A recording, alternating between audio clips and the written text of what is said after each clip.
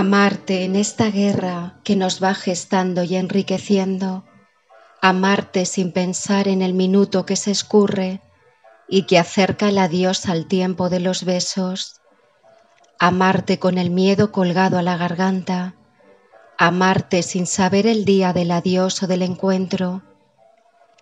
Amarte porque hoy salió el sol entre nuestros cuerpos apretados y tuvimos una sonrisa soñolienta en la mañana. Amarte porque pude oír tu voz y ahora espero verte aparecer saliendo de la noche. Amarte con toda esta incertidumbre, sintiendo que este amor es un regalo, una tregua entre tanto dolor y tanta bala, un momento inserto en la batalla para recordar cómo necesita la piel de la caricia en este quererte amor, encerrada en un triángulo de tierra.